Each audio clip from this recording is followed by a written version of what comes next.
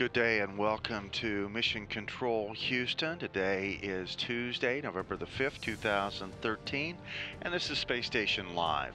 Here in the Mission Control Center, the team is being led by Flight Director Scott Stover, uh, and Hal Getzelman is talking with the Expedition 37 crew aboard the International Space Station, making sure that everyone is on the same page for the research and activities, uh, getting ready for the arrival of uh, three new crewmates of Expedition 38 on Thursday, as well as a spacewalk coming up on Saturday. On orbit uh, right now are uh, Karen Nyberg and Mike Hopkins of NASA, along with the commander Fyodor Yurchikhin and two other Russians, Sergei Ryazanskiy and Oleg Kotov, uh, as well as European Space Agency astronaut uh, Luca Parmitano. Uh, getting ready to head up to the International Space Station this week are uh, Mikhail Tyurin of uh, the uh, Roscosmos, as well as NASA's Rick Mastracchio and the Japan Aerospace Exploration Agency's Koichi Wakata.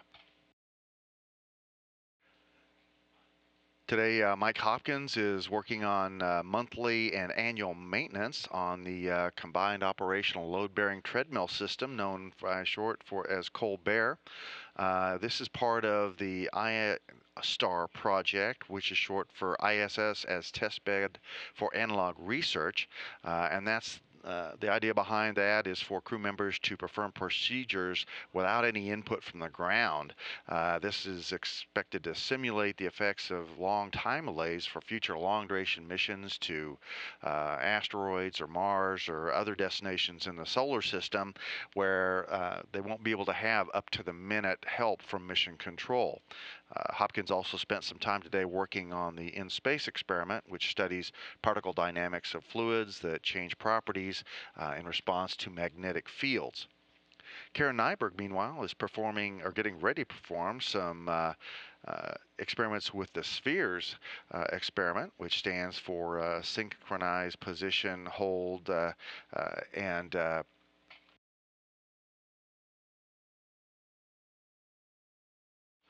the uh, experiment is uh, used to uh, look at how uh, very small bowling ball sized satellites can interact with one another uh, and uh, essentially hold position relative to one another. Yesterday, Mike Hopkins did a lot of work with uh, uh, the Spheres Rings experiment, which uh, is designed to look at even the potential for doing power transfers without cables using these satellites. Today, Nyberg's use of the experiment is going to work on uh, how uh, human-machine interaction works.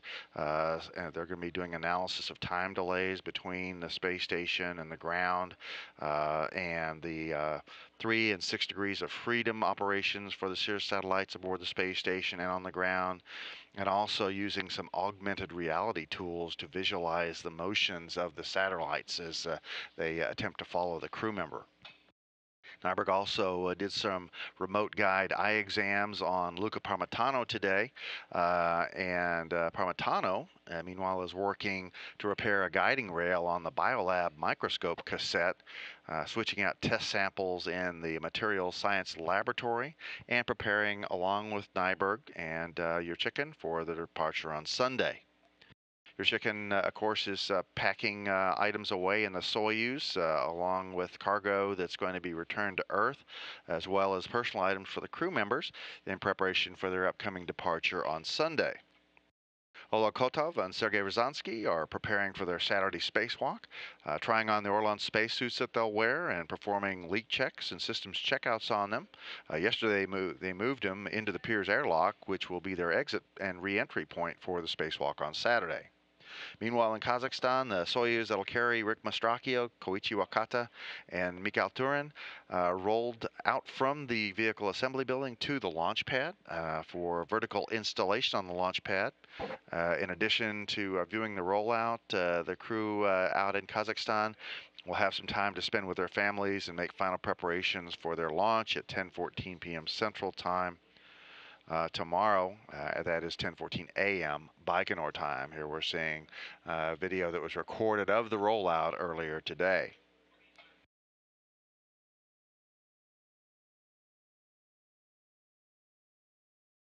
A lot of activities coming up uh, in support of the Expedition 38 Soyuz launch and docking on NASA television.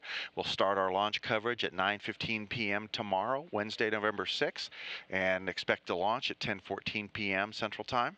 On Thursday, we'll have uh, Soyuz docking coverage in the wee hours beginning at 3.45 a.m., along with the docking, which is anticipated at 4.31 a.m. Central Time.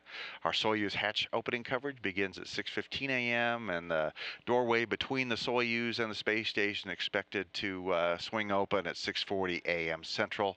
And then we'll have Expedition 38 uh, docking and hatch opening video file uh, at 8 a.m. Central Time on Thursday.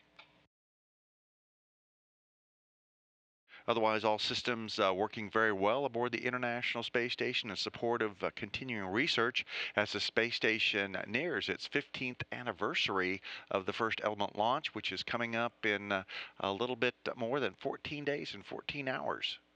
This is Mission Control Houston.